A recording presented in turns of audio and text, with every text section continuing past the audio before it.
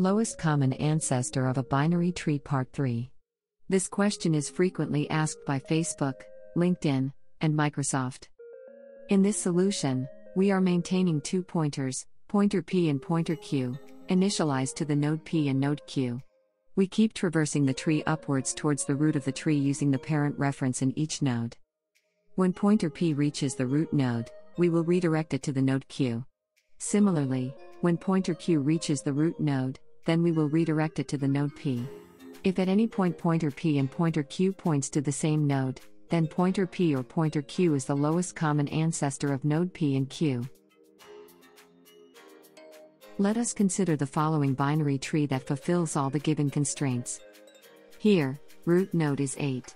Node P is 1, and node Q is 7. We have to find the lowest common ancestor of node 1 and node 7. I have highlighted the path from node P to root in red, and from node Q to root node in blue. The difference in depth of both the nodes is 1. In this example, pointer P will reach the root node in 2 hops, and pointer Q will reach the root node in 3 hops. Thus, pointer P has to travel 1 hop less to reach the root node. By redirecting the pointer P to node Q, and pointer Q to node P, we are making pointer P travel 1 extra hop and pointer Q travel 1 less hop. Thus, both pointers end up traveling the same number of hops, and are guaranteed to reach the lowest common ancestor node at the same time. Now, let us look at the time and space complexity analysis of this problem.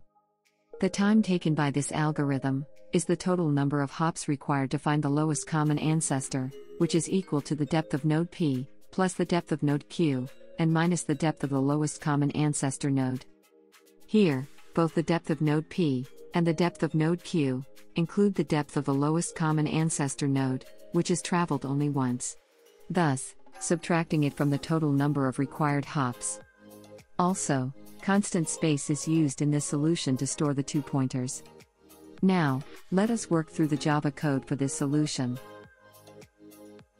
First, we will check for invalid inputs. If either node P or Q is null, then we will throw an illegal argument exception. Now, we will check if both the nodes are the same, then the lowest common ancestor is P or Q.